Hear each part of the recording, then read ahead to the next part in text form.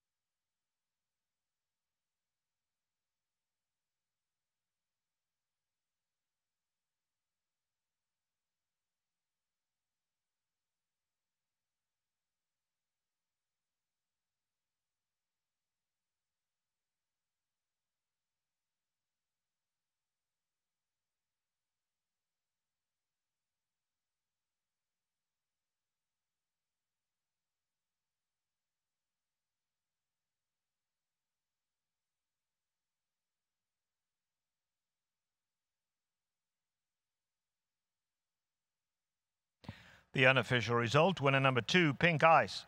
Second, number six, House of Magic. Third, number four, Song of Shadows. Fourth, number one, Blonde Bombshell.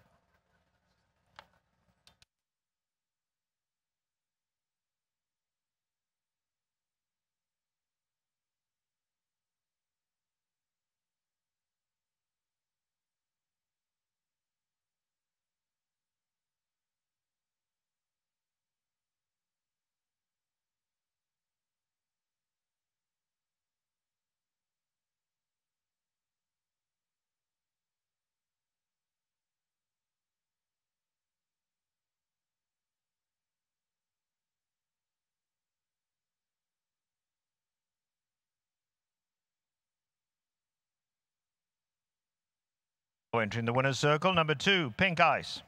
She's a three-year-old bay filly by Aconite out of Po Bow. She's owned by Flurry Racing Stables. Winning trainers Phil D'Amato. The winning rider, Ramon Vazquez. The winner was bred in Kentucky by the Calumet Farm.